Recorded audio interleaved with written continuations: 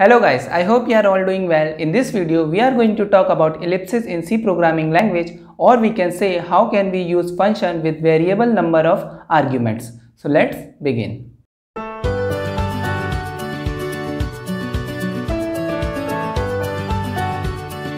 In normal case scenario, we always have the definite number of arguments.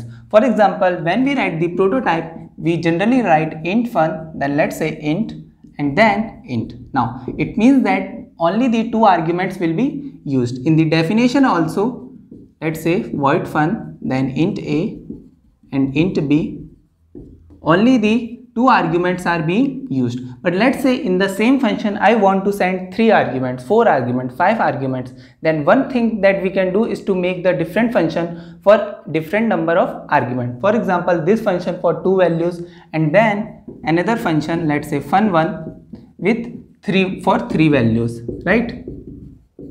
And another function for four values or five values but this is not a good approach. Now instead of using this we use the ellipses or using function with variable number of argument. To use ellipses, we have to use the three macros defined in the stdarg.h header file. These macros are va list, then va start and then va arg, right? And these macros are defined in the stdarg.h header file right? Now let's say how we can use it. First of all we'll write hash include studio dot h and then hash include std arg dot h. Right? Now we have to write the prototype of our function. So i'll write here let's say void fun and in the first i'll write here integer and then i'll write triple dot. Now this triple dot means ellipse, right? Then I'll write void main and let's for now keep it empty and then let's write the definition of our function. So I'll write here void fun then int let's say total and then triple dot right and here inside we will write the definition of our function. Now First of all, whenever we are using the ellipses, in the first place, we have to write the number of arguments that we are going to send. Okay. Here, now, let's say I'm calling the function fun with the having the two values and the first value is let's say 10 and the another is 20 right now what we will do here we will make va list pointer ptr is pointer of type va list and remember that va list here is a macro. Then we write va start. Okay? And inside it we write first of all our name of our va list pointer. So i'll write here ptr and then what are the list that we are sending from the another function? Basically argument. So the first element is total. So i'll write here total. Okay? Note that here ellipsis means that the number of arguments that are being sent after the previous data type will be variable in number okay? So the here we are writing total. Now to consider it you can just for the imagining purpose or just for the understanding you can take it something like this. You can assume that that it is an array right? First element is 10 and the second is 20 and the size is 2 okay? Basically it is having two elements just for the understanding but these are not array remember that right so it is PTR and then there is total. So now let's say I want to print the first element that is 10. For that I can make a variable let's say int and I'll write here num. Okay and I do num equals to VA then ARG.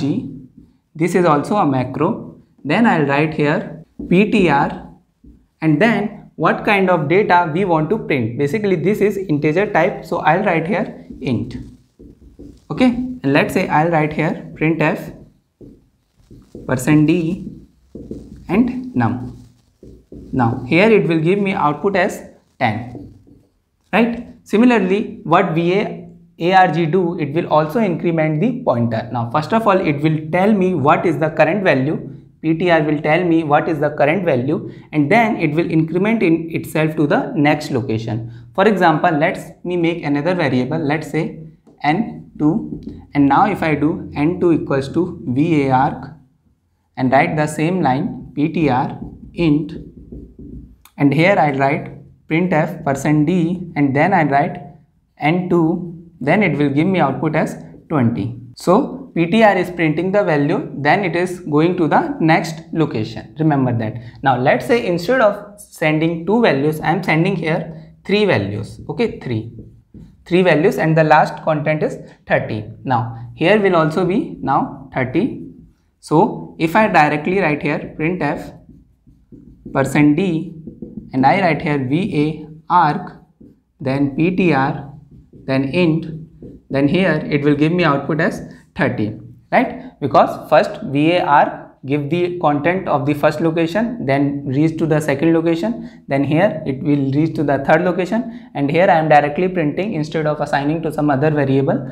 directly printing the value. So here it will give me output as 30 right? So this is how we are able to send the multiple data or multiple arguments to our function. Note that here i am sending the constant but instead of constant you can also send the variables. For example i can write here int a equals to 4 and then i can send here instead of 10 i can send here a. Okay?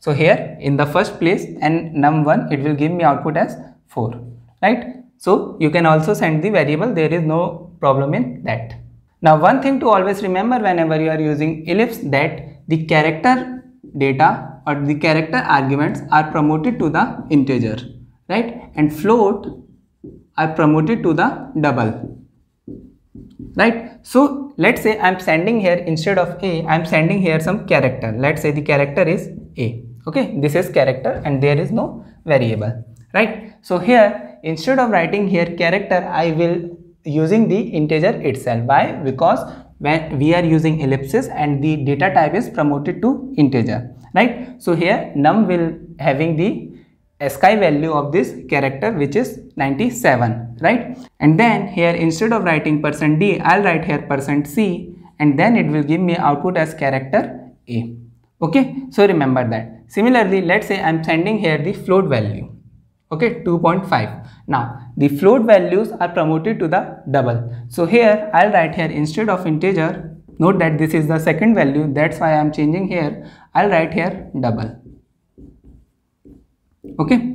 So this n2 and let me make this variable of type float n2 right. So now this variable n2 will hold the value of type double okay basically whatever value is present here that is 2.5 and it was character a right? So it will assign this value to our variable n2 and then here i'll write just percent %f and it will give me output as 2.5000 right? And some other additional zero will also occur uh, according to its size right? So this is how we are able to send the data variable number of data along with the variable data type of data okay? Variable kind of data variable number of data right? And variable kind of data. Remember that in the first location we generally prefer to send the number of data which is going to head so here i should write basically 3 because 3 data i am sending here. Now one thing here is that it is not compulsory that the first argument you should send is the number of argument. Basically you can write here let's say int and then int. You can also do it. But now the previous one is this one. So this this particular will be used to tell the total number of the variables. So here let's say 3 and then here it is 2 right? And let's say here it is int just like normal.